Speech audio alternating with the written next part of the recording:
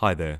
In this video, I'll be showing you how to configure your Backblaze Cloud Storage as a requestable storage vault without needing to set up a storage role location. But first, let me explain what this means. Currently, you can utilize cloud storage as the storage role location on your server, in which the backup data will be passed through the Comet server first before reaching the cloud storage. If you wanted to bypass the data going through the server so you could have the backups go directly to the cloud storage, you had to manually configure a custom storage vault for each account. This can be time consuming if you have a lot of customers to set up using this method. But now, you can simply create a requestable storage vault using Backblaze with the direct to cloud method.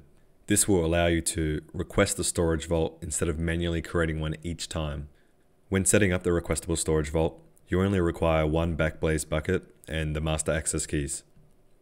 Also, when you assign this requestable storage vault to your customers, Comet will automatically create the subdirectories within Backblaze for each storage vault created, and the customers won't be able to access each other's data as the access keys for their storage vault only works for their subdirectory.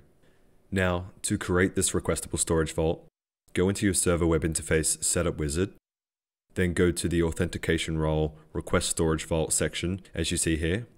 Then click add provider. Now change the type from Comet to Backblaze. Give the storage vault a name. This name will show when assigning the storage vault to an account. And then you will need to enter a Backblaze bucket with the master key ID and application key. Save your settings and your server will restart.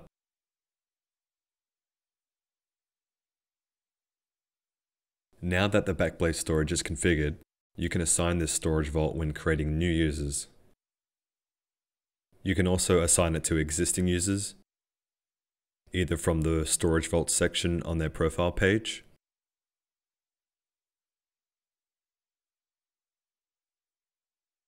or on the desktop client itself in the Account tab. And so that is how you can set up Backblaze Cloud Storage as a requestable storage vault using the direct method. We will be adding more cloud storage types and this video tutorial will also work for them. Thank you for watching.